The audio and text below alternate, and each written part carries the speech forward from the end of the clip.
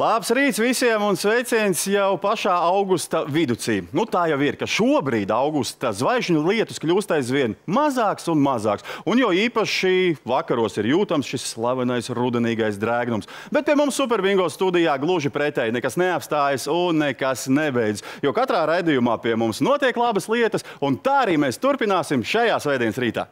Labrīt! Jā, jā, tieši tā. Mēs burtiski vai graujam šo te slaveno teicienu divreiz vienā upē neiekāpsi, bet pie mums ir iespējams pat tas, un tam par apliecinājumu kalpo arī mūsu pagājušās nedēļas spēlētājs Nikolais Martišs. Jā, nu īstenībā pateicoties tieši Nikolajam, pie mums studijā šobrīd atrodas šī tumši sarkanā Volvo XC60 automašīna. Jo iepriekšējo studijas automašīnu, kas bija tumši zilā krāsā, Audi Q3, Nikolais attālināti uzgriez uz lielā laimes rata šī gada martā.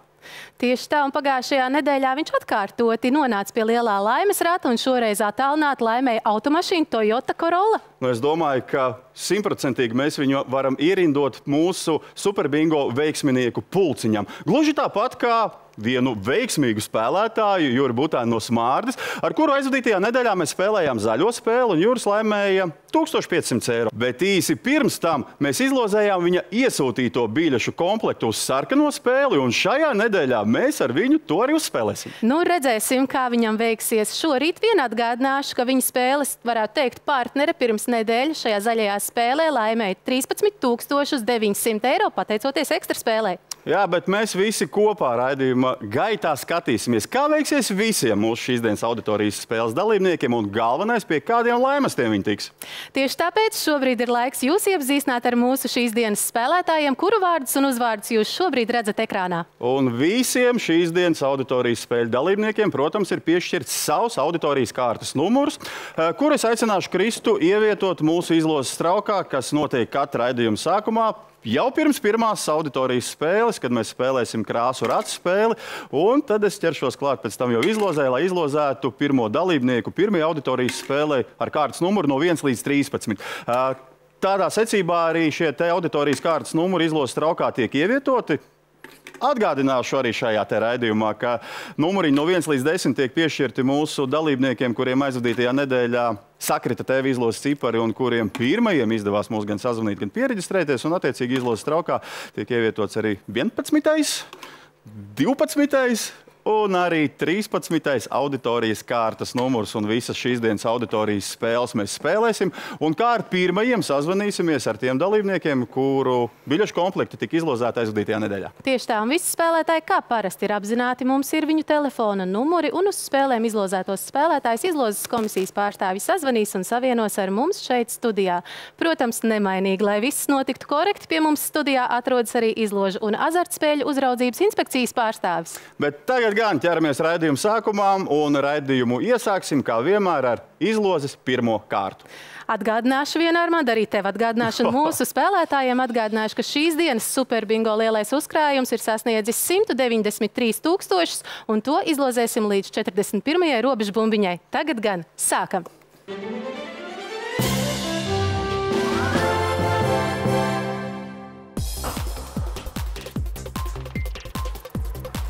Nu, kā jau katrā raidījumā pēc sasveicināšanās un ievada informācijas, tagad noteikti daudz no jums piesēžas mazliet tuvāk TV ekrāniem.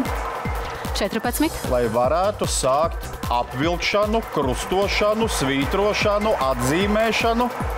34. Noteikti katram no jums spēlētāji ir uh, sava metode, kā jūs atzīmējat šīs izlozētās bumbiņas. 31. Un, protams, ka vismaz man personīgi liekas, ka tas ir interesantāk svētdienu rītos sēdēt un skatīties. 53. Kā tiek lozētas bumbiņas un kā krīt bumbiņas. Protams, protams visi mūsu profesionālie spēlētāji to jau zina, ka 6. Uh, izloze fiziski notiek uh, sestdienās brīdī, kad tiek ierakstīts raidījums Superbingo. 18. Un nepacietīgākie, protams, ka var ieiet savā www.latlato.lv spēlētāja profilā, kur jūs savu kontu esat izveidojuši. 70. Vai arī rezultātiem iepazīties attiecīgi sestdien vakaros jau Latvijas Loto mājaslapā. Bet ir viens bet. 20. Kas saucas pagarināt intrigu līdz svētdienas raidījumam Superbingo. Un tas ir forši. 60. O, pirmais centrs jau ir atminēts pie šīs te devītās izlozētās bumbiņas. Tātad laimas par pirmo centru saņems viens spēlētājs un pieļauju, ka tas būs labs laimas par pirmo centru. Un pirmās kārtas noslēgumā bumbiņa numur 73. Tātad līdz ar to pirmā kārta ir noslēgusies ar deviņiem atminētiem skaitļiem. Un nu laiks mūsu pirmajai auditorijas spēlē krāsu ratam. Mums ir zināms jau pirmais spēles dalībnieks, un tas ir Andris Puisāns no Iecavas, taču nu laiks noskaidrot viņa pretinieku vai pretinieci, un to mēs tūlīt pat arī izdarīsim. Armand? Ķeros klāt izlozēju, un es esmu pārliecināts, ka es izlozēšu vienu auditorijas kārtas numuru, kas būs no 1 līdz 13. Savādāk nemaz nevar būt. Un pirmajā auditorijas spēlē pievienojas dalībnieks ar kārtas numuru 8. Un tas ir Juris Tīliks Valmierā. Spēli sāksim sazvanot abus divus spēlētājus. To arī šobrīd darām. Jā, klausos. Labrīt, vai Andris Puisāns iecavā? Jā, jā, tas pats. Tas pats sveicināti. Zvans jums no Superbingo studijas, zvana Krista. Nu, ko tas brīdis ir pienācis? Griezīsim krāsu rātu. Es pieļauju, ka tas nav pārāk liels pārsteigums. Šorīt noskaidrosim, kāds laimests jūs iepriecinās. Bet mirklīts gan vēl ir jāuzgaida, jo mēs sazvanīsim jūsu šīs dienas spēles pretinieku.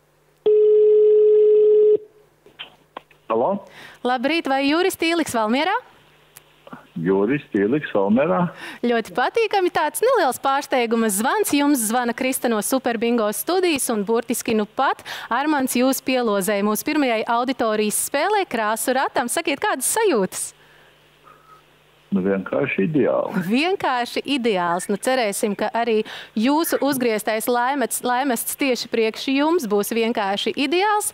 Bet kamēr mēs izspēlēsim spēles pirmo kārtu ar mūsu pirmo spēles dalībnieku, jums ir mirklītis uzgaidīt. Tādēļ, Andrija, es vēršos atpakaļ pie jums. Vai jūs mani dzirdat? Jā, klausos. Tas brīdis ir klāt, krāsu rats ir jāiegriež, tādēļ es gaidīšu jūsu komandu, lai es varētu iegriezt krāsu ratu, attālināt jūs vietā.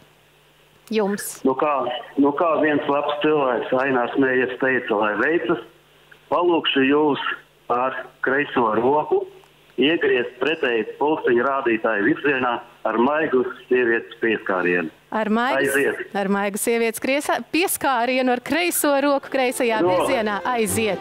Aiziet. Rats ir iegriezts. Es varētu teikt, ka man sanāca gana maigi. Tiesa gan, laikam pirmo reizi es griežu krāsu ratu pretējā virzienā. Un attiecīgi šorīt ir uzgriezti 750 eiro. Šobrīd es jūs apsveicu ar jūsu laimestu, lai arī es vēl nezinu, vai es jūs varu apsveikt ar pirmo vai ar otro vietu. Pirms krāsu rats nav iegriezts arī jūsu pretiniekam. Tādēļ, Jūri, vai jūs mani dzirdat? Dzirdu. Jūsu kārta griezt ā, krāsu ratu, nu sakiet, labā puse, kreisā puse, roka, kāja.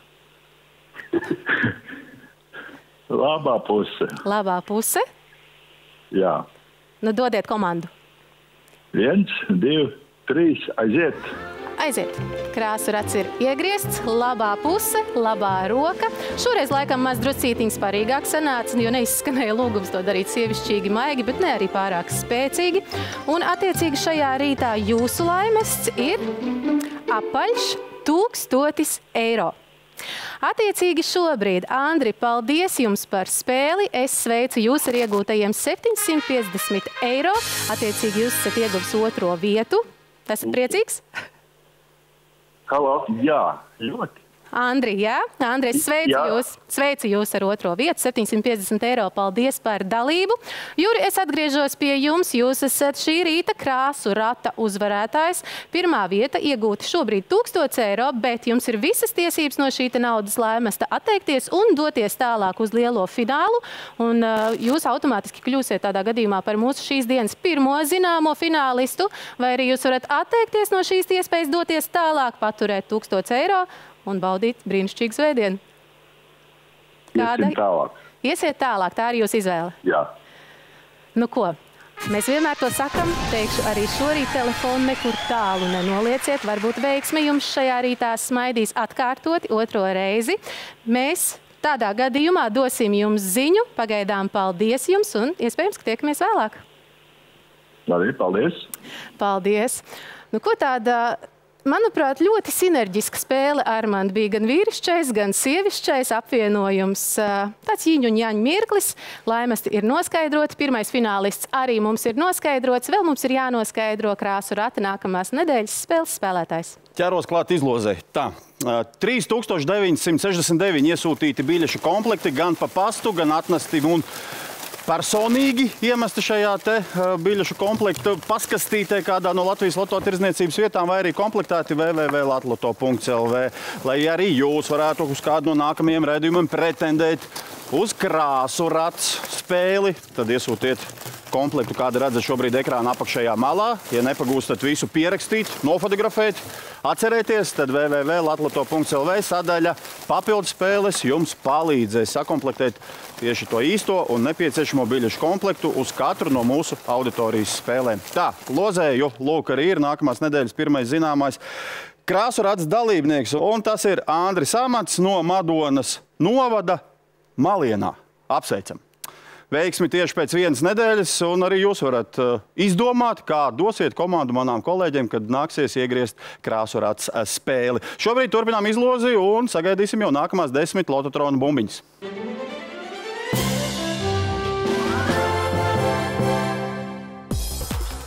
Dodamies tālāk izlozē ar zināmu pirmo mūsu finālistu. Tas ir labi. Skatīsimies, kādas bumbiņas kritīs otrajā kārtā. 67. Un pats galvenais, cik daudzi skaitļi kādam no jums sakritīs. Otro kārtu esam iesākuši ar vēl vienu atminētu skaitli. Ir viens līderis ar desmit atminētiem skaitļiem. 32. Un dodamies tālāk ar skaitli 32. Šodien robežu bumbiņa ir 41. uzkrājums 193 tūkstoši eiro. Tas ir par 9. super bingo, ja 20 skaitļi sakritīs kādam no jums līdz 41. bumbiņai. Bet pēc skaitļu izlozes un skaitļu loterijas super bingo noteikumiem 10. dalībnieks, kurš attiecīgi, ja izlozē atmin 20 skaitļus līdz izlozes noteiktajai robežu bumbiņai, saņem gan laimastu par super bingo, 27. gan laimastu par centru, gan laimastu par rāmi, gan laimastu par bingo. Tas nozīmē, ka ir pie super bingo plus 22. centrs, plus rāmis, plus bingo. Un, ja tas notiek šajā izlozē, tad noteikti tie būs vairāk nekā 193 tūkstoši eiro. 47. Bet kā būs, to mēs vēl pagaidām nezinām. Katrā izlozē mēs ceram tikai un vienīgi uz to labāko, uz to lielāko veiksmi, bet 56. tā ir ciparu kombinācija ko jūs esat atzīmējuši savā kvītīs, savā biļetēs, vai izmantojot savu sistēmu, vai spēlējot ātru spēli. 45. Katrā ziņā es nezinu, veiksme uz kuriem atzīmētajiem skaitļiem skatās, bet skaidrs ir viens, 3. ka visu šeit nosaka tikai un vienīgi veiksme. Otrā kārta ir noslēgusies jau ar 14 atminētiem skaitļiem.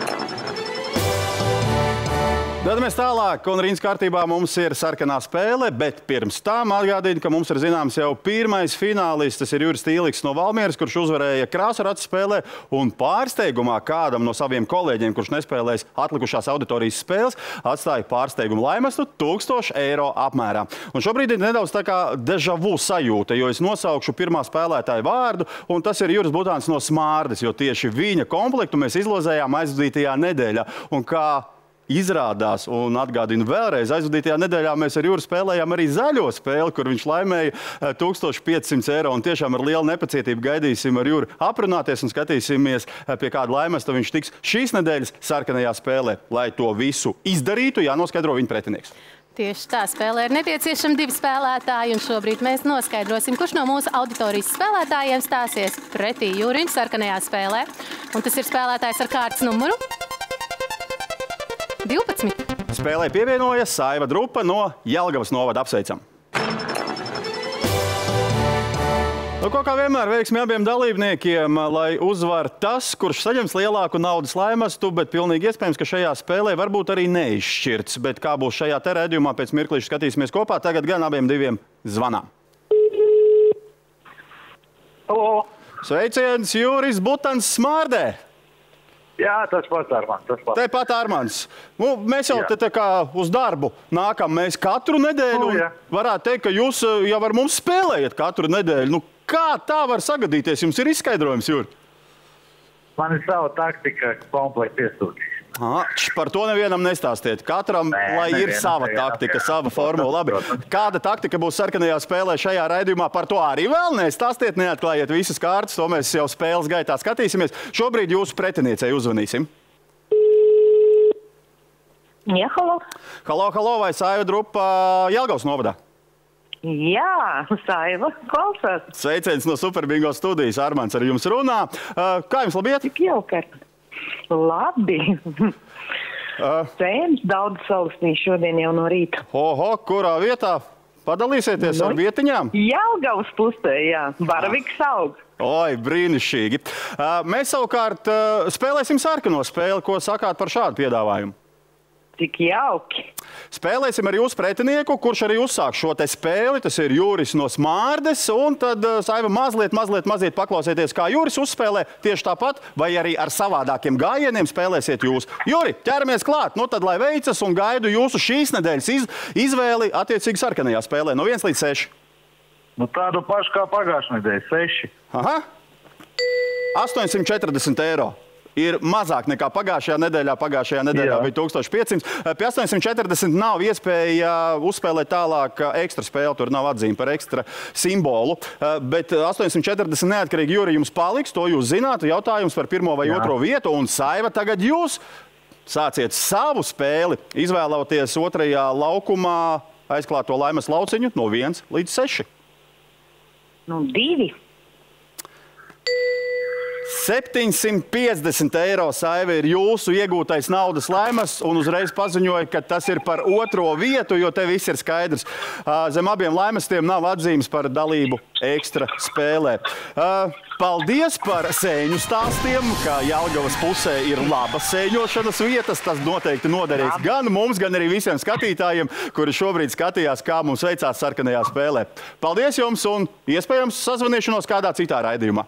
Paldies, Armand. Paldies, jums! Atā. Ha, Jurij, esat uzvarējuši Jā, šogad, jā. šonadēļ. Šonadēļ jums ir pirmā ļoti vieta. Ko darīsim tālāk? Tas būs pirmais vai otrais. Uh, otrais gan, pirmais finālis mums jau ir noskaidrots. Nu, tad iesim uz finālu. Tad jūs ieņemat otro fināla vietu. Jā. Labi, 840 vēl viena pārsteiguma summa kādam no jūsu kolēģiem. Uh, nu, kā vienmēr sakām, tos telefons, lai nav izlādēts nekur tālu, lai par rokai, ja nu gadījumā veiksmi turpinās jums mīt pa pēdām, sazvanīsimies vēl vienreiz. Labi, gaidīsim. Pagaidām, tā. tā, nu ko skatāmies, kur tas slēpās. Šie te ekstra simboli pirmajā laukuma pusē. Lūk, šīs trīs summas bija atzīmētas ar sarkanajiem ekstra simboliem, un šīs te trīs summas otrajā laukuma pusē. Tā, divi finālisti pēc divām auditorijas spēlēm ļoti sparīgi dodas tālāk pretim savai veiksmai, bet viens dosies to darīt jau pēc nedēļas pie sarkanās spēles pirmā laukuma. Tā gan būs. Un, uh, sacīt, jāsaka, sarkanā spēle tā ātri, un raiti tika izspēlēta ar zināmu taktiku. Savukārt šeit gan atrodoties pie pirmā komplektu trauka, kurā atrodas astoņi ekrānā redzamie komplektu veidi. Vienīgā taktika ir tos kārtīgi apmaisīt, sirsnīgi no visām pusēm un attiecīgi izlozēt vienu spēlētāju. Kurš nākamnedēļ būs kā sarkanās spēles pirmais spēlētājs? Veicam vēl vienu maisīšanas apli un noskaidrojam, kāpēc nedēļas sarkano spēli spēlēs Marija Semenova Rīgā. Bet šobrīd gan turpinām lototrona izlozi un sagaidām nākamās desmit bumbiņas.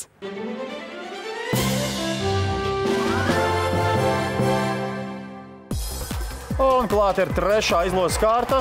Šajā laikā izlozēsim bumbiņas no 21. līdz 30. Viens. Sākam ar skaitli viens, jūs turpināt atzīmēt, bet, ja kaut ko palaižat garām, tad lūk, arī digitālā kvīts ir špikerīts, 21. kur atzīmētie skaitļi vai izceltie skaitļi, tie jau ir izlozētie skaitļi. Un te jūs mierīgi varat izskriet cauri piecām kolonām. 72. Jo katrā kolonā ir pa 15 skaitļiem. Pirmajā no 1 līdz 15, otrajā no 16 līdz 30 un tā tālāk līdz pēdējai, kur ir 75.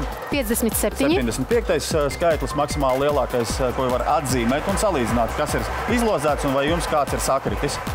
74. Ir bijušas labas loterija laimestu ziņas, bet es skatos, ka šajā kārtā es par vienu laimestu nepagūšu izstāstīt. 55. Tāpēc mēģināšu noturēt jūsu uzmanību jau uz nākamo noslēdzošo kārtu. Pa vidu, protams, būs dažādi vēl notikumi. 75. Lūk, arī jau pieminētais pēdējais maksimāli lielākais skaitlis, ko Superbingo kvītī var atzīmēt. Un šo te stāstu izstāstīju šajā noslēdzošajā kārtā. Bet 28. ļoti labi iet mums vienam dalībniekam šajā izlozē. Jau ir atminēti 16 skaitļi, tātad 4 skaitļi pietrūks līdz lielajam Superbingo uzkrājumam. 2. Pirmspēdējā bumbiņa skaitli 2 šajā te trešajā kārtā, un tūdaļ sagaidām arī 30. bumbiņu skaitlis.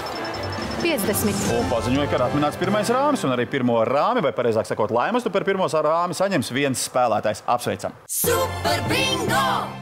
Iegādājoties vismaz vienu superbingo kvīti, jūs ne tikai piedalāties skaitļu loterijā, bet arī automātiski pretendējat uz laimīgo kvīšu numuru izlozi. Tieši tāpēc šobrīd ir laiks paziņot pirmo divu laimīgo kvīšu numurus, kuri pēc nejaušības principa tika izlozēti no visām uz šīs nedēļas izlozi iegādātajām superbingo kvītīm.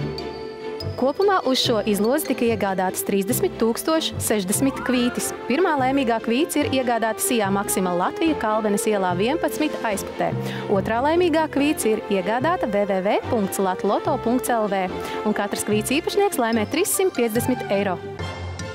Raidījuma laikā, kā jau ierasts, paziņosim vēl divu laimīgo kvīšu numurus, un katrs tās īpašnieks saņems 350 eiro. To, kādi laimesti sagaida mūsu šīs dienas spēlētājs, mēs noskaidrosim jau pēc reklāmas pauzes. Tiekamies! Super bingo! Superbingo! Labrīt, atkal Superbingo raidījumā, kur pēc reklāmas pauzes mēs atgriežamies, lai izspēlētu jau trešo auditorijas spēli - zaļo spēli. Kā teiks, tā arī darīsim. Un, uh, pirms zaļās spēles uh, paziņoja, ka mums jau divi finālisti ir noskaidroti. Finālā ir divi jūri. No krāsu rāts uz finālu devās Juris Tīliks, atsakoties no 1000 eiro. Savukārt sarkano spēli uzvarēja Juris Butants no Smārdas, atsakoties no 840 eiro. Savukārt Jānis Freimans no Tukuma novada ir pirmais zināmais mūsu zaļās spēles dalībnieks, kurš kā jau Āložiņa spēlēs uh, pirmajā laukuma pusē. Un tagad jautājums, uz kuru Latvijas pilsētu vai novadu zvanīsim otrajam dalībniekam. To mēs tūlīt pat noskaidrojam, un laukuma otru pusi zaļajā spēlē šajā rītā ieņem spēlētājs ar kārtas numuru 1. Un tas ir Sergejs Bragīns, tepat Rīgā. No ko ķeramies klāt zaļajai spēlei? Skatīsimies, kādus laimas lauciņus izvēlēsies gan viens spēlētājs, gan otrs spēlētājs. Lai to uzzinātu, noteikti ar viņiem jāsazvanās. Ir. Jā. Halo, halo, vai Jānis Freimans Tukuma novadā? Jā, tieši tā. Sveiciens no Superbingo studijas jums! Sveiciens! Kāds laiks tukuma pusē? Nekāda laime, saulīt spīd, viss, viss forši. Oho, braucām uz Superbingo studiju lietus lī, tad jums ir labāks laiks. No, jā. Labi, Cerams, ka uh, caur kameru, caur TV ekrāniem arī to saulīt no tukuma puses. Tūdaļ pat arī sajutīsim Superbingo studijā, kad spēlēsim ar jums zaļo spēli, bet pirms tam piezvanīsim jūsu pretiniekam, Jāni. Halo. Uh, sveiciens vai Sergejs Bragins Rīgā? Jā, tieši tā. Uh, zvans no Superbingo studijas, mans vārds ir Armāns, piedāvāja jums uzspēlēt zaļo spēli. Lieliski. Labi, vai noteikumi ir zināms, Sergej? Jā, izzinām. Uh, tad jums ir nedaudz laiciņš līdz savam gājienam, jo spēli mēs uzsākam ar pirmo zināmo dalībnieku. Tas ir Jānis no Tukuma novada. Jānī, nu tad uzspēlējam. Jā. Tātad no 1 līdz 6, kāda ir jūsu izvēle? Uh, seši. Labi, vēru vaļā. Labi, iespējams, ka labi. Varbūt, ka labi, bet ir labi. 900 eiro ir naudas laimes ar iespēju uzspēlēt arī ekstra spēli. Šobrīd, kamēr mēs izspēlēsim pirmo kārtu ar Sergeju, tad uh, ekstra spēles noteikumi Jāni ir zināmi, jā vai nav? Ir zinām, jā, jā, viss skaidrs. Tad, ok, vēl pagaidām nesakiet, kāds būs jūsu lēmums, jo lielākoties tas noteikti būs atkarīgs no Sergeja rezultātu, vai ne? Tātad, Sergei, aicinu jūs pievienoties spēlē. Esmu pie otrā spēles laukuma, un tur arī ir seši aizklāti laimestu lauciņu. Kāda būs jūsu izvēle? Četri. Četri? Jā. Tā. Spēle noteikti būs interesanta. Laimes ir par 100 eiro mazāks. Tie ir 800, bet arī ir iespēja uzspēlēt ekstra spēli. Sergei, vai jums ekstra spēles noteikumi ir zināmi? Man liekas, ka jā. Atkārtošu arī visiem, ja nu gadījumā kāds, kurš mūs skatās, kādreiz kļūs par spēlētāju. Proti, pirmais variants, ja jūs abi atsakāties no ekstra spēles, viss ir skaidrs. Jānim pirmā vieta 900 eiro, Sergejam otrā vieta 800 eiro. Ar Sergeju mēs spēli beidzam. Šobrīd, ja izvēlaties spēlēt ekstra spēles, tad zināmie naudas laimesti uh, var uh, izmainīties uz trīs citiem laimestiem. Vai kļūt par 120 eiro, vai par 350 eiro, vai pie šiem laimestiem var tikt pieskaitīti 13,500. Tiesa gan, šī lielā ekstra summa var būt pieskaitīta tikai pie viena no spēlētāju jau zināmajiem naudas laimestiem, ja gadījumā abi jūs izvēlaties par labu ekstra spēlē. Huh, nu tagad ir jūsu rokās viss, kas notiek tālāk šeit Superbingo studijā. Jāni, Jā, klausos. vai jūs spēlēsiet ekstra spēli? Ba, ba, ba. Nu, labi, lai iet, nu, kā būs, tā būs. Labi. Un, Sergei, vai jūs spēlēsiet ekstra spēli? Es domāju, jā. Labi! Šāda spēle mums visiem ļoti patīk. Nu, godīgi sakot, tagad tie varianti ir tikai, kā saka, viens pret trīs, lai kāds no jums tiktu pie plus 13,500. Skatīsimies, kādas būs izvēles. Bet pirmais savu izvēli, viens, divi vai trīs, veids Jānis. Jāni, Tā, trīnieks. trīnieks ir aizņemts. Tā, labi, tas ir Jāņa. Ekstra lauciņš, kas tur slēpjas apakšā, mēs vēl nezinām. Sergei, viens vai divi? Lai iet viens. lai iet viens. Un tā tad, Jāni, jums bija, tagad es to droši varu teikt, ka bija 900 eiro. Vēru vaļā trešo ekstra lauciņu, un jūs nokrītat uz 350 eiro. Tā, bet, Jā. jā, bet pagaidiet, pagaidiet, vēl neatvadamies. Tagad ir pirmajā, otrajā vai otrajā, pirmajā. Tur ir tikai divas iespējas, vai 120 vai plus 13,500. Sergejs izvēlējās pirmo ekstra lauciņu. Sergej, jums bija 800, vēru vaļā pirmo lauciņu. Un šobrīd jums ir 14,000! 300 eiro! Otrajā lauciņā bija 120 eiro. Jā, nu, jā, nu jāriskē bija droši vien, vai ne?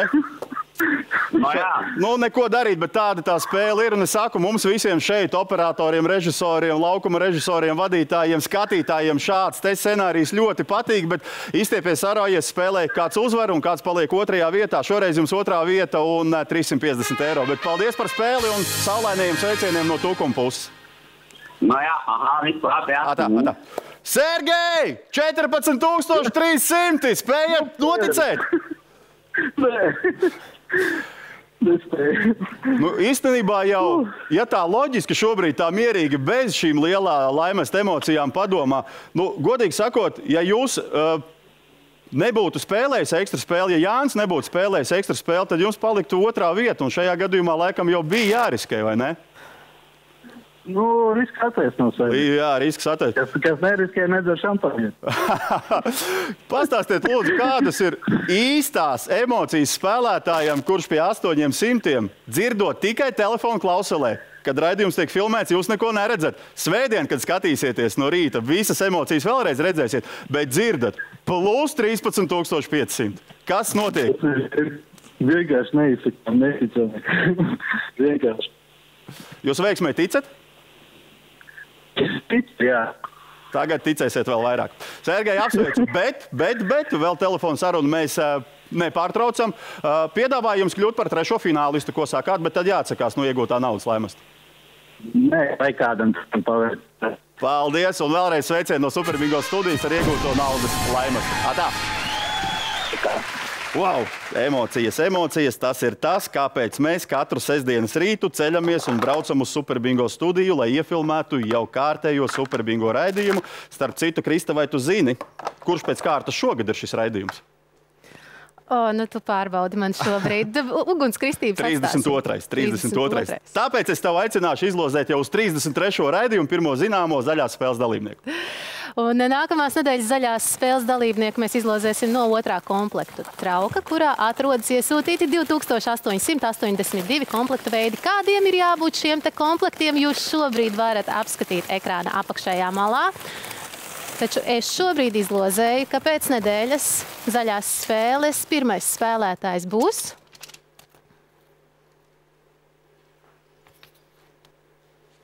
Tā, noslēpsim telefonu numuru. Tā ir Marija Bitmane Lilastē.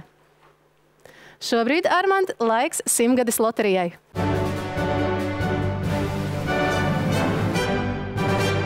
Paldies, Krista. Tieši tā. Nu, katrā ziņā mēs esam gatavi. Jautājums, vai jūs esat gatavi? Un lielākais jautājums, vai ir gatavi visi četri šīs dienas simtgadus loterijas papildus spēles dalībnieki uzzināt, kādu laimestu viņi saņems šīs dienas izlozē. Un 10 tūkstoši savā starpā šajā rītā sadalīs. Artis Roķis no Smiltenes novada, Andrejs Matisaus no Straupes, Rihards Bernāns no Jūrmāls, kā arī Sandra Višņevska no Salaspils. Kā vienmēr, visu spēlētāju šeit Superbingo studijā klātienē pārstāvēs un izlozes veiks man brīnišķīgā kolēģe Krista. Un tad nu, mēs varam sākt šīs te augusta vidus raidījuma izlozi. Un tātad šajā izlozes traukā, kā vienmēr, ir 12 papildu spēles žetoni. Atgādinu, ka kopējā laimesta summa ir 10 000 eiro. Cik kurš katrs dalībnieks pie kāda laimesta tiks, to mēs uzzināsim pavisam pēc īsa mirklīša, bet žetonos ir sadalīti dažādi naudas laimesti. Tādējādi tikai un vienīgi izlozes kārtā, vai pateicoties izlozē, mēs uzzināsim, kurš tiks pie lielāka laimesta, kurš pie vēl lielāka un kurš iespējams pie šīs te papildu izlozes lielākā iespējamā laimesta vienam dalībniekam, kas ir, un pēc noteikumiem tas tā arī ir, 6000 eiro. Tas ir bijis arī vairākās izlozēs. Vai var garantēt, ka šodien kāds tiks pie maksimālā laimesta? Protams, mēs to nevaram, bet skatīsimies pavisam pēc īsa mirklīša, tad nu, pie kādiem laimestiem visi dalībnieki būs tikuši. Jā, pastāstīšu vēlreiz, kā arī jūs varat pretendēt uz kādu no šiem šīm simtgadus loterijas papildus spēles izlozēm kādā no nākamajiem raidījumiem. Zinu, ka daudziem no jums simtgadus momentu loterija ir nu, tāda viena no mīļākajām, jo tur var laimēt gan naudas laimas līdz pat 100 tūkstošiem eiro. Atgādinu, ka šobrīd tirdzniecības vietās arī www.latlato.lv ir nonākušas jau desmitās sērijas simtgadus momentu loterijas biļetes, bet ja nu gadījumā kādu no biļetēm nav laimējusi, to var reģistrēt šai te papildu spēlē Krista. Paldies! Un sākam to lielo matemātiku un skaitīšanu. Sāksim ar Ārti Roķi no Smiltenes novada. Skaitam kopā 500 eiro plus 750. Jā, tieši tā, dzirdu, 1250 un 500. 1750 eiro ir Ārta Laimas šajā te izlozē. Andrejs Matisovs straupē. Sākam uzreiz ar 1000 pieskaitām vēl 500 un vēl viens plusiņš būs 500 eiro apmērā. Apaļi 2000 Andreja Laimas šajā te izlozē. Dodamies tālāk. Nu, un skatīsimies, pie kāda laimas tad tiks eh, Rihards. Tā tad sākam arī ar 1000, pievienojam. O, 3000 jau ir 4000 un vēl viens plusiņš 500 eiro apmērā.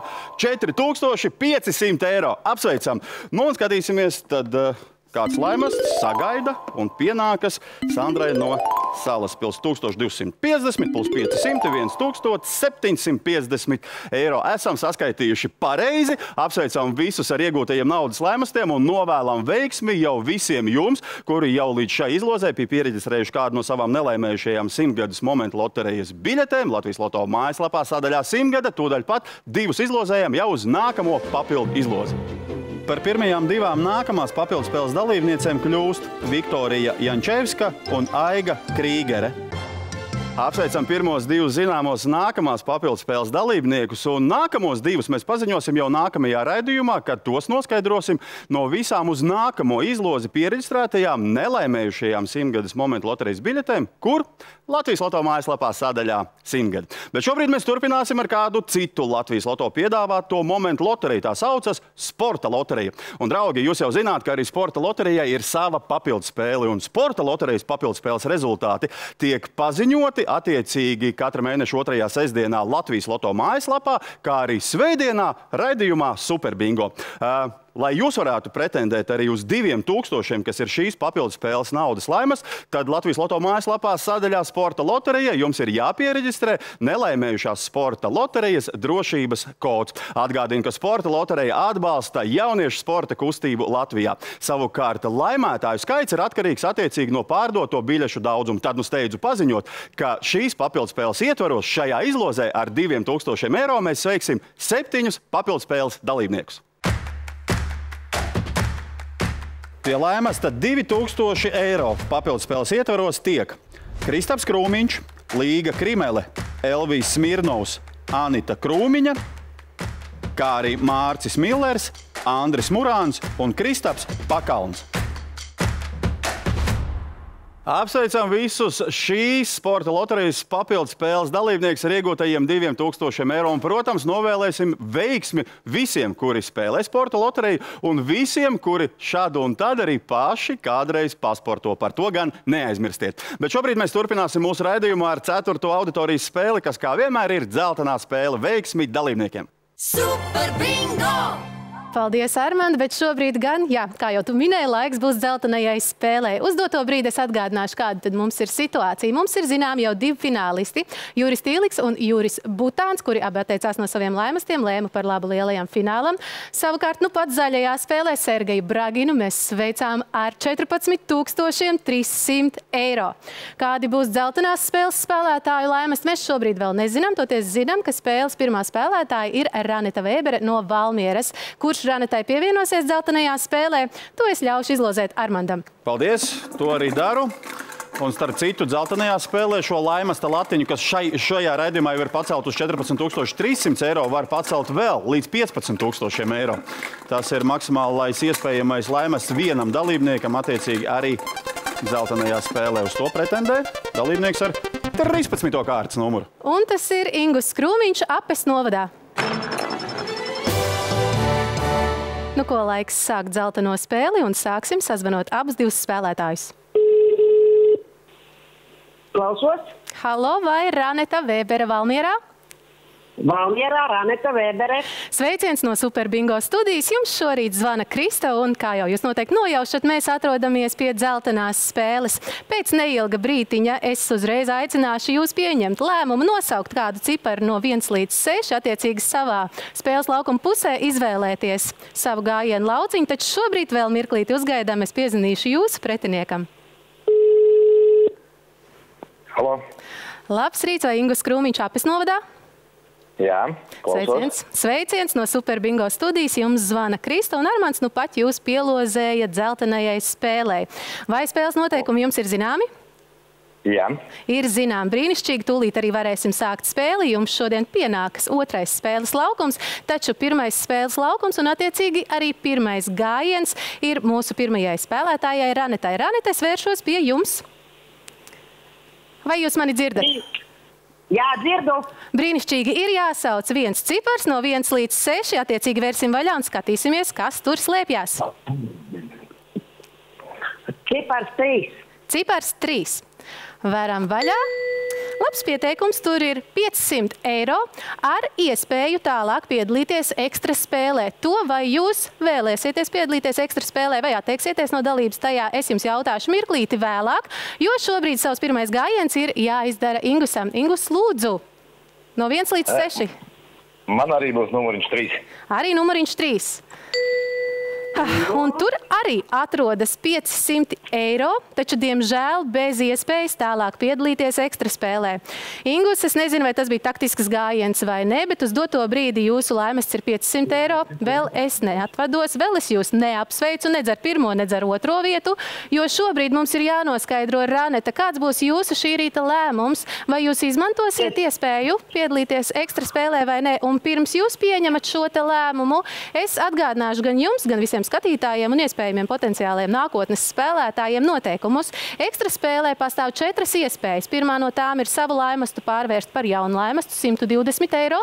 Otrā iespēja ir samazināt savu esošo laimastu par 200 eiro. Trešā ir palielināt esošo laimastu par 500 eiro. Savukārt ceturtā palielināt šī brīža laimastu par 12 500 eiro. Labi, es eju uz ekstra spēli. Šeit atrodas četri lauciņi, četri cipariņi. Raneta, jums ir jāizvēlas no 1 līdz 4. Ko mēs varam vaļā?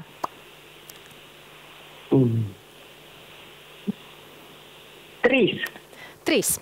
Turpinām trīnieku gājienu un eh, Raneta. Šoreiz spēle paredz, nevis paredz, bet vēstīja to, ka jūs uh, savu naudas laimestu pārvēršat par jaunu naudas laimestu 120 eiro. Es uz, vi, uh, uz viena viļņa pie viena arī parādīšu, ka pirmajā lauciņā mums slēpās iespēja palielināt laimestu par 12 500 eiro. Otrajā bija iespēja palielināt to par 500 eiro, savukārt trešajā samazināt par 200 eiro. Jūsu izvēle bija pārvērst šo te naudas laimestu 500 eiro par jaunu laimestu 120 eiro, kas šobrīd nozīmē, ka es jūs sveicu, Raneta, ar otro vietu. Iegūtiem 120 eiro. Paldies jums par spēli. Kādas sajūtas? Nu, pirmo reizi es vispār nekad dzīvē neesmu spēlējusi. Nu, bet Visus pēc- šos gadus tikai skatījusies. Es arī to zināju, ka būs 120. Es to paredzēju. Nu, sajūta, laikam, jau teica, priekšā spēle ir spēle. Man prieks, ka jūs nonācāt Jā, protams, līdz protams, spēlē. protams, Paldies par protams. dalību, lai veicas arī turpmāk. Ingus, nu redz, kā tik ilgs tas brītiņš bija jāpagaida, jāpaklausās, kā spēle risinās Ranetai, kā dzelteno spēli, ekstra spēli izspēlēs Raneta. Nu šobrīd jums ir jāpieņem lēmums. Paturēsiet iegūto naudas lēmastu 500 eiro vai dosieties uz lielo finālu? Fināls. Fināls. Tas bija skaidri, tas bija konkrēti. Turam telefonu tuvumā. Iespējams, veiksmi sekos arī jums šajā rītā. Paldies jums par spēli. Jā. Jā. Nu, ko skatīsimies, kā tad pirmajā spēles laukuma pusē šajā rītā bija izkārtoti naudas laimesti. Attiecīgi mēs redzam, ka trīs no tiem ir atzīmēti ar ekstra simbolu un arī spēles laukuma otrajā pusē tieši tāda pati situācija. Trīs naudas summas bez ekstra simbola, trīs naudas summas ar ekstra simbolu. Nu, ko kāda spēle mums būs pēc nedēļas, kā dzeltenā spēle risināsies pēc nedēļas, mēs noskaidrosim. Pēc nedēļas, Armand, un kurš būs mūsu nākamās nedēļas dzeltenās spēles pirmais spēlētājs? Ļoti loģiski, Krista. Tieši pēc nedēļas to mēs arī visu redzēsim. Bet šobrīd, lai to visu izdarītu, es izlozēšu pirmo zināmo dzeltenās spēles dalībnieku no otrā komplekta trauka, kur komplekti ir sasūtīti. Kādi komplekti to jūs redzat ekrāna apakšējā malā. Atgādina arī, ka var to visu mierīgi, neklausoties manī, paskatīties un iepazīties Latvijas Loto mājaslapā www.latloto.lv, slīpsvītra papildus spēles vai arī vienkārši dodieties uz papildus spēles sadaļu. Bet nākamajā nedēļā izlozētāja komplekta īpašnieks ir šis te. Oskars Skobeļevs kā vienmēr, šobrīd saku, ka no kurienes Oskars ir. Mēs vēl pagaidām nezinām, jo šis te komplekts ir komplektāts www.latlato.lv, bet brīdī, kad mans kolēģis jaunadaļa ar viņu sazvanīsies, to mēs noteikti arī noskaidrosim. Tagad, draugi, turam īkšķus par izlozētajām lototronu bumbiņām, jo klāt ir noslēdzošā kārta.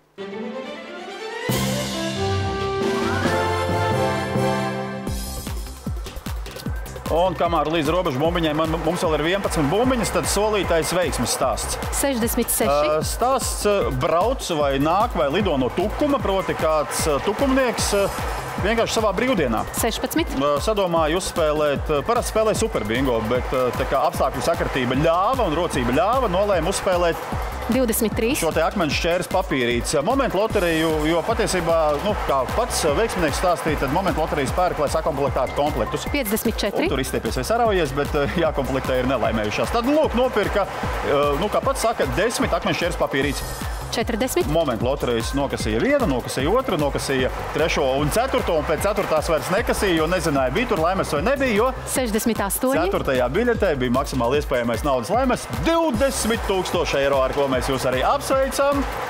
Un novēlam arī veiksmi citiem mūsu skatītājiem, spēlētājiem. 48. Un tagad atpakaļ pie izlozes, proti, līdz robežu bumbiņai četras bumbiņas līdz 8. Superbingo uzkrājumam jāatmin vēl divi skaitļi. Četri līderi ar 18 atminētiem skaitļiem mums šobrīd ir 39. bumbiņa, un tagad ir skaitlis svarīgs. 44. Bet nākamā bumbiņa un nākamais skaitlis būs ļoti svarīgs. Gaidām!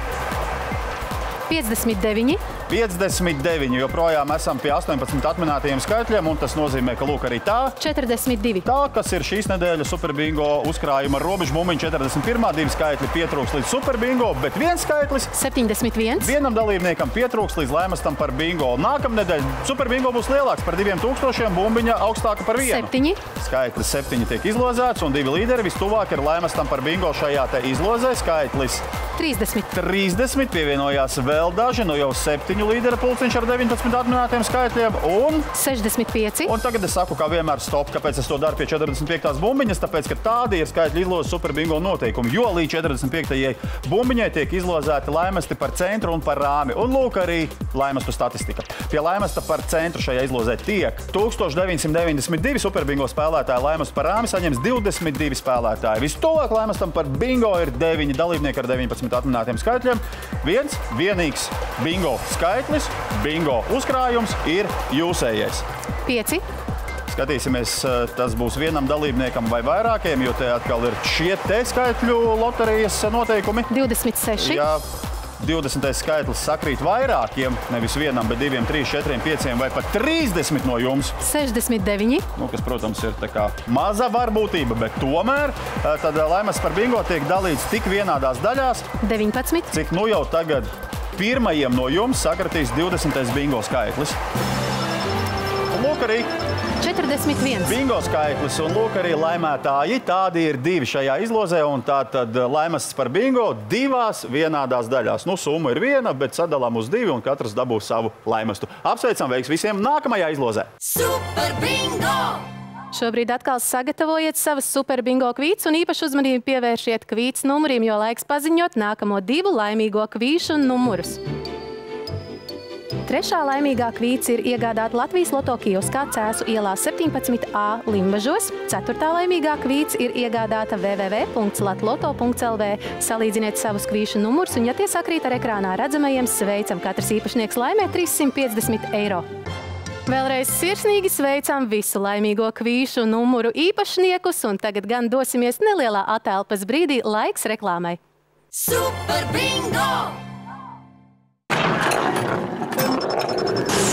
Super bingo! Un nu jau pēc reklāmas pauzes mēs atgriežamies un atgriežamies ar papildu spēli Akmens šķēres papīrītis. Tieši tā, un tūdaļ pat mēs noskaidrosim jau pēdējās akmens šķēres papīrītes papildu spēles fināla izlozes pēdējo trešo finālistu. Un jau pēc vienas nedēļas šeit raidījumā Super Bingo 21. augustā mēs noskaidrosim, kurš no trīs finālistiem saņems jaunu automašīnu Volkswagen T-Roc, kurš tiks pie robotizētā zāles pļāvēja automūver 310, bet kurš saņems naudas lēmestu 1000 eiro apmērā. Tieši tā, un tas attieksies uz trešā izlozētā komplekta īpašnieku. Savukārt pirmo divu izlozēto komplekta īpašnieki katrs saņems 500 eiro naudas lēmestu. Ķeramies klāt izlozēji. Krista aicina to pie izložu trauka. No sākuma droši vien jau zina, cik daudz iesūtītu biļešu komplekti ir. Šajā nedēļā ir iesūtīti 1967 komplekti, un, attiecīgi, kā jau mēs iepriekš minējām, atkārtošos vēlreiz, ka pirmo divu izlozēto komplektu īpašnieki katrs saņem 500 eiro naudas laimestu, savukārt trešā izlozētā komplekta īpašnieks iegūst tiesības piedalīties jau nākamajā papildu spēles akmens šķērs papīrītes fināla izlozē. Un tātad, cītīgi apmaisot visus iesūtītos komplektus, mēs noskaidrojam, ka pirmā izlozētā komplekta īpašnieks ir Ausma Ošāne Jelgavā. Apsveicam ar laimētajiem 500 eiro. Tūlīt pat noskaidrosim arī otra komplekta īpašnieku vai īpašnieci, kurš attiecīgi arī saņems 500 eiro naudas laimestu, un tas ir spēlētājs, jeb spēlētāja. Sofija Kovaļuka. Sveicam arī Sofiju ar laimētajiem 500 eiro savukārt. Šobrīd tas atbildīgais mirklis noskaidrot mūsu trešā izlozētā komplekta īpašnieku, kurš attiecīgi iegūst tiesības piedalīties papildu spēles fināla izlozē, un tas ir... Ja precīzāk tā ir Staņislava Ozoliņa. Kā vienmēr izlozēto komplektu īpašnieks mēs aicinām zvanīt pa tālruņa numuru 6722, 681 un pieteikties gan naudas laimestiem, gan, protams, arī Staņislavu pieteikties un pieregistrēties uz akmeņšķēres papīrītes papildus spēles pēdējo fināla izlozi. Un tad jau mēs skatīsimies, kā trīs finālistes, kas mums ir Īveta Ozoliņa, Baiba Lotaņika un Staņislava Ozoliņa, savā starpā sadalīs šīs papildus spēles laimestus. Bet tagad, Krista. Tagad, Arman, tagad gan ir laiks noskaidrot mūsu ceturto šīs dienas finālistu, kā arī pārsteigumu spēlē pārsteigtu auditorijas spēlētājs, kuri vēl netika izlozēti nevienai mūsu auditorijas spēlē. Nu, tad aiziet, sākam mēs ar ceturtā finālista noskaidrošanu. Sākam. Un tas ir spēlētājs ar kārtas numuru. Vai kā nāk pie manis? Numur 5. Un par ceturto finālisti kļūst Sandra Brikmane no Limbažiem. Apsveicam! Un tagad laiks ir sadalīt pārsteiguma laimestu. Sākam ar 1000 eiro. Jā, 1000 eiro šajā rītā ceļo pie spēlētāja ar kārtas numuru. 3. Un pie 1000 tiek Andris Čepīts no Saldus novada. Apsveicam! 840 eiro pārsteigumā. Virzamies tālāk. Nākamā naudas summa - 840 eiro pie spēlētāja ar kārtas numuru 7. Valda Skudra no Siguldas. Apsveicam jūs! Un 500 no dzeltenās spēles. Apaļs 500 šajā rītā pārsteiguma spēlē saņem spēlētājs ar kārtas numuru 10. Ruta Kalniņa no Reizeknes. Apsveicam visus ar iegūtajām pārsteiguma summām, bet šobrīd mēs visi skatīsimies, kurš no četriem finālistiem tiks pie iespējas attālināti iegriezt lielo laimes ratu. Un tā, draugi, tas mirklis ir klāt katru svētdienu, kad mēs noskaidrojam, kurš no četriem finālistiem saņem šo iespēju saņemt zvanu no Superbingo studijas ar paziņojumu, ka atrodamies pie lielā laimes rata, un tad jau attālināt to arī iegriezt. Lai to noskaidrotu, ir jāveic izloze. Krista ar izlozes trauku un 12 fināla žetoniem, un es savukārt ķeros klāt atbildīgajam pienākumam. Sāksim mēs ar pirmo finālistu, Juri Tīliku no Valmieras, kurš uzvarēja krāsu ratu spēlē un atteicās no 1000 eiro. Un es jau domāju, ka tāda mazā cerība vismaz katram no finālistiem ir, nu vismaz man tā būtu, ka kaut no es uzlabotu to rezultātu, no kā es atteicos uzvarot auditorijas spēlē. Es gan nezinu, vai tas tā ir patiesībā mūsu finālistiem. Kādreiz būs jāpaprasa. Bet, teiksim, Jūras Butens no Smārdas, ar kuru mēs jau divas nedēļas pēc kārtas sazvanījāmies aizvadītajā nedēļā zaļajā spēlē, šajā nedēļā sarkanajā spēlē, atteicās no 840 eiro. Dodamies tālāk. Ingus Krūmiņš no apes novada. Nu, patiesībā no viņa daudz kas eh, dzeltenajā spēlē nebija atkarīgs, jo viņa pretinieci spēlējot ekstra spēli. Uh, nu, ja var tā teikt, noteica, kurš ir spēles uzvarētājs, pati saņemot otro vietu. Bet, kā jau mēs minam, šī ir tikai un vienīga spēle, un lēmums pieņem tikai un vienīgi paši spēlētāji. Vai arī viņu līdzjutēji, kuri sēž tajā brīdī, attiecīgi blakus viņiem, kad mēs ar viņiem sazvanāmies. Paldies, Krista! Nu ko, skatāmies visi kopā, to arī darīsim. Sāksim ar Juri no Valmieras. 3 eiro. 3 eiro. Un 603 eiro ar iespēju uzlabot šo rezultātu vēl par 2000. Dodamies tālāk pie Jūranos Mārdes. 7 eiro. Un Juris Butans no Smārdes šajā rītā saņems vēl vienu zvanu no Superbingo studijas. Apsveicam! Lūk, arī ir lielā laimes rata simbols, un astotnieks netiks Ingum un Sandrai. Bet Ingus Krūmiņš no apes saņems naudas laimestu, un fināla pirmajā kārtā tie ir. Kaut kur vēl viena nulle ir, bet ne šeit 129 eiro. Savukārt Sandra Brīkmana no Limbažiem. Šobrīd sveicam ar Zinu, zinu, 45 eiro. Bet tas ir tikai pagaidām. Tagad klāt ir fināla otrā kārta, kurā piedalās trīs dalībnieki, kuri netiek pie iespējas iegriezt lielo laimes ratu, bet cīnās par iespēju rezultātu uzlabot par 2000 eiro. Viens no trījiem to izdarīs. Vai Juris, vai Ingus, vai attiecīgi tas paliks Sandrai. Paldies, Krista, vēlreiz. Un tā tad Juris Tīliks no Valmiera šajā rītā Superbingo studijā saņem 2603 eiro. Apsveicam! Un, kā jau es minēju, laikam tā pirmā mazā cerība uzlabot šo rezultātu naudas laimes, no kura atteicās spēlējot krāsu ratu spēlē, ir īstenojusies. Tā, Juri, mēs izlaižam. Ingus Krūmiņš attiecīgi šajā raidījumā saņem 129 eiro. Finālā Sandrai Brikmanai no Limbažiem ir 45 eiro, bet pēc mūsu šova un izlozes noteikumiem viņi saņems arī auditorijas bonusu 120 eiro klātā, tad laimes ir 165 eiro. Bet tagad ar nepacietību dodamies pie lielā laimes rata un zvanīsim Jurim uz smārdi vēlreiz šajā raidījumā. Tieši tā, tūdaļ pat mēs pēc maza mirklīša piezvanīsim Jurim. Vēl vienu reizi, uzzināsim, kā viņš jūtas, protams, jo saņemt divreiz zvanu vienā superbingo raidījumā, tas nozīmē tikai vienu, ka mēs atrodamies pie lielā laimes rata, kur mēs arī pēc mirklīša dosim, bet esam noskaidrojuši, ka Juris savu laimīgo superbingo biļeti ir iegādājis Rīgā, degvielas uzpildes stacijā Circle K Latvijā. Karļa Ulmaņa gatavojas 110, un uz šo degvielas uzpildes staciju mēs nosūtīsim ar Latvijas pasu starpniecību šo te skrīveru saldumu paciņu, bet šobrīd ne par saldumiem, šobrīd par izlozi Krista. Nu, ko būs man tā veiksme ar griezt laimes ratu kopā ar Juri vai nebūs? Es jau mēģināšu vērt vaļā. Jā, būs. Tā tad Krista dodas pie lielā laimes rata, un es tikmēr tad uh, mēģinu, ko tur ko mēģināt? Zvanu Jurim vēlreiz uz smārdi. Halo! Nu tad vēlreiz zvans no Superbingo studijas, un vai klausulas otrā pusē joprojām ir Juris Butans smārdē? Jā, tas pats. Un Ļoti beidzot labi. laikam pie lielā laimes rata. Tieši tā, Jurī! Kā jūs tā zinājāt? Labi, es jau zinu, jūs Nu, skatāties un pārzināt visus noteikumus kārtīgi, vai ne? Nu, jā, no. Ko jūs darījāt? Arī jums paprasīju šajā te starp posmā uh, no sarkanās spēles līdz uh, šim te brīdim, kad mēs Es braucu pa Latviju foto orientēšanās sacensībās. Oho, kā, kā veids, kurā vietā šobrīd esat? Gulbenai cauri izbraucu. Braucu uz Alūksni. O, tagad uz mirklīti būs jāpiestāj vai runāsiet ar brīvroku Nē, sistēmu? nē, man, man tur uh, sieva brauc, es varu runāt. Ļoti labi. Ko tur daudz Jā. ko runāt īstenībā? Šobrīd esam izlozējuši, ka jūsu vietā, ā, pēc jūsu komandas lielo laimes ratu iegriezīs brīnišķīgā Krista. Tā kā noteikti Jā, nododiet labi. viņai sveicienu, mēs sveicienus nodosim jūs brīdī, kad uzzināsim, kāds būs laimests. Labi. Nu, ko, Jūri, labrīt, sveiciens arī no manis. Es saprotu, ka šobrīd tā atbildība mazliet tiek novirzīta sievietēm. Sieva stūrē, Krista iegriezīs Jā. laimes ratu, bet man ir noteikti nepieciešama jūsu vīrišķā komanda, lai to darītu. Sakiet, kad esat gatavs? Jā, bet es gribētu griezt pret pulksteņa rādītāju virzienu. Ar kuru roku? Labo, kreiso? Ar kreiso. Ar kreiso roku pretī pulksteņa rādītāju virzienam. Nu, ko es saku, man koordinācija man nepievils.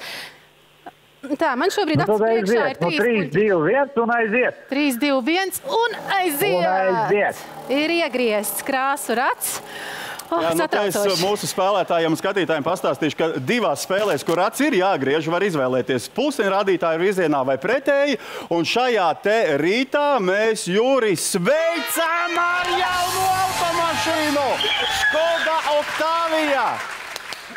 Ārprāt, cik brīnišķīgi Juri būs jāmaina braucamais aparāts. Ar kādu mašīnu jūs šobrīd stūrējat, ja drīkst jautāt, nevis Nu, stūrēt? četru gadu vecu Nissanu.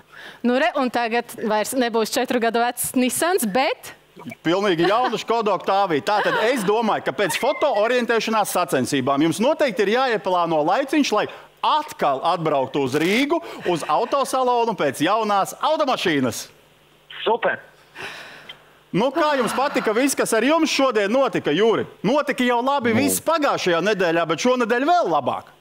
Nu, man, man šogad jau piektā reize studijā, un tad beidzot arī tiku pie tās griešanas. Super!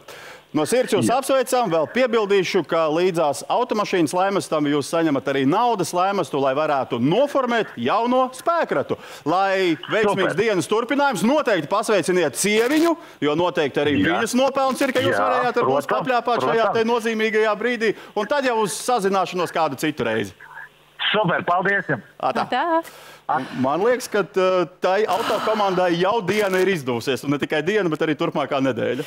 Es to neapšaubu, un lai arī kāds būtu jūra veiksmes noslēpums, vai arī varbūt šobrīd vienkārši kāda veiksmes fortūna augusta zvaigžņu lietus vienkārši stāv viņam klāt ar bagātīgiem laimastiem. Sveicam vēlreiz! Mums šobrīd ir jānoskaidro nākamās nedēļas eh, auditorijas spēles spēlētāji, kuri startēs nākamnedēļ ar 11. un 12. kārtas numuru. Sākam izlozi no pirmā komplektu trauka, kurā atrodas astoņi ekrānā redzamie komplektu veidi. Jūs tos esat cītīgi komplektējuši, cītīgi iesūtījuši. Kā mēs esam noskaidrojuši spēles laikā, katram ir savas tehnikas, katram ir savi knifiņi. Un skatīsimies, ar kādas tehnikas knifiņiem būs vai dalījies vai nedalījies nākamās spēles auditorijas spēlētājs ar 11. kārtas numuru. Un tā ir Dainida Kurzemniece Rīgā. Sveicam, un tūlīt laiks noskaidrot arī nākamās nedēļas auditorijas spēlētāju ar 12. kārtas numuru. Ah, Un tas ir, ja precīzāk, tā ir Vija Surgunte Līvānos. Šobrīd laiks mūsu papildspēlē Super Bingo studijas auto garantētā izloze. Jā, Krista, tieši tā, tev ir pilnīgi taisnība. Jā, tūdaļ pat jau ceturto nedēļu pēc kārtas mēs izlozēsim trīs kvīšu numurus, no kuriem pirmais kvīšu numuru īpašnieks kļūs par nākamā raidījuma 13. auditorijas kārtas dalībnieku. Otrais saņems naudas lēmestu 1000 eiro apmērā, bet trešais būs jau, nu jau ceturtais pretendents uz mūsu sarkano vasaras ķirsīta automašīnu Volvo XC60. Tieši tā, un dalībai šajā papildspēlē var reģistrēt papildspēles norises periodā no 17. Jūlija 14.00 līdz 28. augusta 13.00 iegādātas superbingo kvītis ar pieciem variantiem uz vienas kvīts, kā arī veiktu atzīmi par dalību papildspēlē Jokers 7. Tiesa gan šeit es atgādināšu, ka, lai jūsu kvīts piedalītos šajā izlozē, tai obligāti ir jābūt reģistrētai interneta vietnē www.latloto.lv slīpsvītras superbingo auto. Nu, tagad visi kopā cītīgi sekojam līdzi izlozēto superbingo kvīšu numuriem. Uzmanību ekrānam! Uz šo izlozi reģistrētas 4755 kvītis. Nākamajā izlozē dalībnieks ar 13. numuru būs Aigars Puškarevs, bet 1000 eiro ir laimējusi Ilze Paegle. Savukārt tiesības piedalīties fināla izlozē un pretendēt uz mūsu studijas auto Volvo XC60 ir ieguvusi Dina Baltais Brence. Izlozēto superbingo kvīšu numuru īpašnieki uzmanību zvaniet un pieregistrējieties pa tālruņa numuru 67 227 681. Bet šobrīd uzmanību Kristai, kura tūdaļ pat ir gatava gan izlozēt, gan nosaukt šī raidījuma TV izlozes ciparu kombinācijas. Lūdzu! Super Bingo! Bet šobrīd gan sagatavojiet savus kvītus, kas reģistrēts dalībai uz šo izlozi, jo tūlīt pat noskaidrosim nemazāk vērtīgās TV izlozes ciparu kombinācijas. Es tikai atgādināšu, ka arī uz nākamās izlozes TV auditorijas spēlēm tiek reģistrēts ierobežots dalībnieku skaits - desmit dalībnieki, kuriem tad attiecīgi sakritīs TV izlozes ciparu jeb to kombinācijas. Sāksim noskaidrojot pirmo ciparu kombināciju. Un tā ir 4, 1, 2, 7. Uz doto brīdi mums ir nepietiekams pretendentu skaits, tādēļ noskaidrosim vēl vienu TV izlozes ciparu kombināciju. Un tā ir 0, 0, 7, 2. Ja jūsu TV izlozes cipari sakrita, tad nekavējoties ir jāzvana pa tālruni 6722 4906, un es atgādināšu, ka dalībai TV auditorijas spēlē tiek reģistrēts ierobežots dalībnieku skaits, kas ir noteikts Latvijas Loto TV auditorijas spēļu periodu noteikumos zvanu pieņemšanas kārtībā.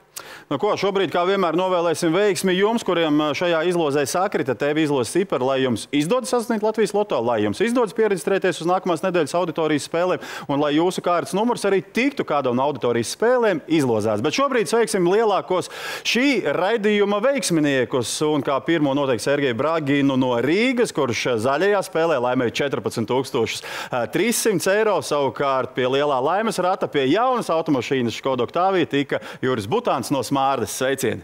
Sveicieni, brīnišķīgi laimes. Savukārt, tie auditorijas spēlētāji, kur šajā rītā netika izlozēti nevienai no auditorijas spēlēm, nav ko skumt. Katrs saņem 120 eiro lielu naudas laimestu, auditorijas bonusa laimestu. Savukārt pie kādiem laimestiem ir tikuši visi šīs dienas auditorijas spēļu dalībnieki.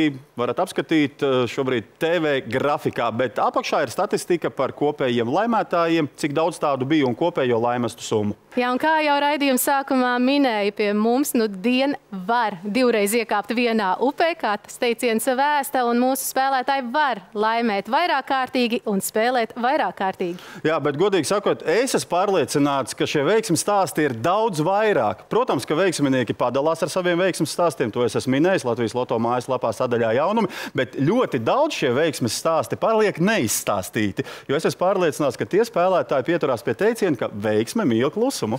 Jā, taču mums ļoti patīk, ka jūs dalāties uh, savos panākumos, savos stāstos, jo iespējams, ka tieši šobrīd mūs skatās jau nākamais super bingo uzkrājuma īpašnieks. O, par to es esmu pilnīgi pārliecināts, ka tur otrpus televizora ekrāna ir kāds dalībnieks, kurš piedalīsies kādā no nākamajām izlozēm, kad izkritīs lielais superbingo uzkrājums. Pilnīgi iespējams jau jaunadēļ, kad lielais superbingo uzkrājums būs sasniedzis jau 195 tūkstošus, un to mēs izspēlēsim līdz 42. robežu bumbiņai. Tieši tā, un nākamnedēļ mūs sagaida arī papildu spēles akmens šķērs papīrīts lielais fināls, kurā attiecīgi trīs fināla spēlētāji savā starpā sadalīs lielos laimestus. Kas to zina, kā augusta zvaigžņu lietas atsauksies uz viņiem, iespējams, tas būs viņu laimīgo laimesta zvaigžņu lietas. Paldies, ka jūs esat kopā ar mums, ka spēlējat, ka skatāties, ka dalāties. Mēs tiekamies jau pēc nedēļas raidījumā Super Bingo. Uz tikšanos ar tā! Šodienas Super Bingo izlozes rezultāti.